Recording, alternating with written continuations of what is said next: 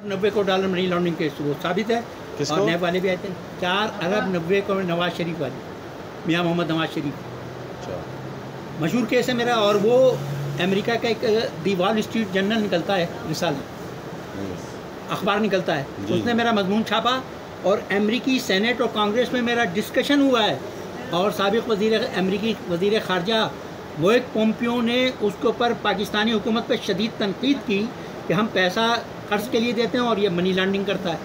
Investigation हुई मुझे इस्लामाबाद बुला रहे थे। नवाज़ शरीफ। हाँ chairman NAB justice retired Javed Iqbal ने डीजी नैब रावलपिंडी के हवाले किया मुझे रावलपिंडी बुला रहे थे।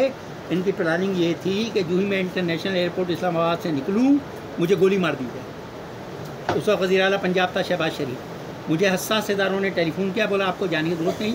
चेयरमैन नैब को आप ख़त लिखे। मैंने चेयरमैन नैब से टेलीफोन पे बात की। आधे घंटे उन्होंने बात की।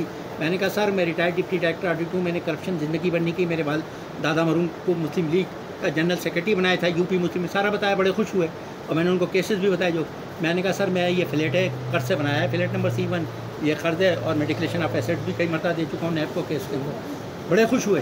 तो नैब की टीम मेरे घर पर आई थी 21 रमज़ान 2019 मैंने बयान रिकॉर्ड कराया और मैंने वो अकाउंट्स बताए हैं सईद अहमद खान जो सबक डिप्टी गवर्नर स्टेट बैंक था, उसके थ्रू वो सारा पैसा दुबई से गया। कहाँ? भारत। आप पता है क्या हुआ?